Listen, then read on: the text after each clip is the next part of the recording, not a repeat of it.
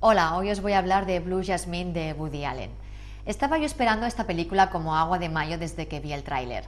De alguna manera el personaje que interpretaba Kate Blanchett me empujó a pensar que ahora Woody Allen no podía volver a fallar.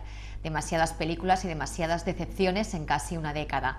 Pero aquí está esta Blue Jasmine para reconciliarme con el director de Manhattan y volver a depositar en él las esperanzas que un año sí y el otro también habían caído en el olvido. Match Point fue su última obra maestra.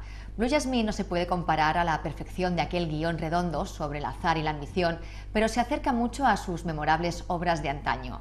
Y todo gracias a la maravillosa e inmensa actriz australiana Kate Blanchett, que borda a la perfección su papel de neurótica y desquiciada mujer que lo tuvo todo y se quedó en nada.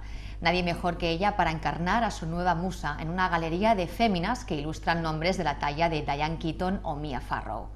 En la primera escena escuchamos la voz de una mujer que no para de hablar de sí misma en el avión que la traslada de Nueva York a San Francisco. Lleva consigo lo poco que le queda de una vida de lujo y derroche para tomar un rumbo muy diferente en casa de una hermana divorciada con la que no mantiene muy buena relación necesita escapar de un pasado, de la sombra alargada de un marido que bien podría ser el alter ego de ese financiero y ladrón de guante blanco llamado Bernard Madoff, condenado por fraude.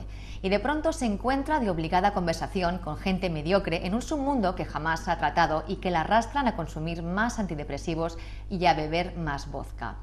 La clásica canción Blue Moon hace de hilo conductor de los recuerdos de Jasmine en una serie de flashbacks donde conoceremos a Hal, el marido playboy y estafador.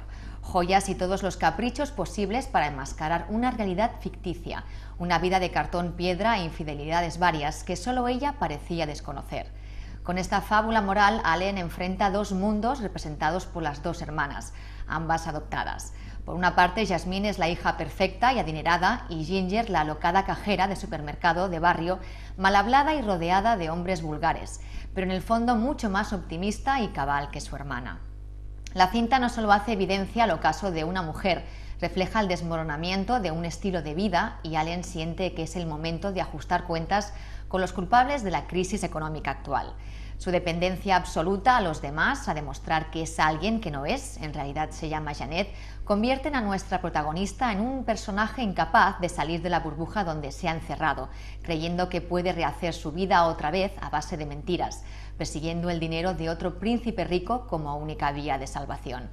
Y Blanchett saca aquí un auténtico abanico de emociones que hacen que el espectador finalmente sienta pena por esta arrogante mujer de ojos hinchados y llorosos que habla sola y que recuerda sobremanera a la Blanche Dubois que interpretó la gran Vivian Lee en un tranvía llamado Deseo.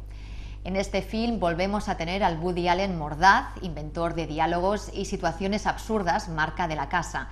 Pero en esta ocasión las notas de humor enmarcan un conjunto verdaderamente trágico que te deja una media sonrisa congelada. Hay mucho de Allen en Jasmine y solo depende de él volver a reinventarse en sus próximos proyectos.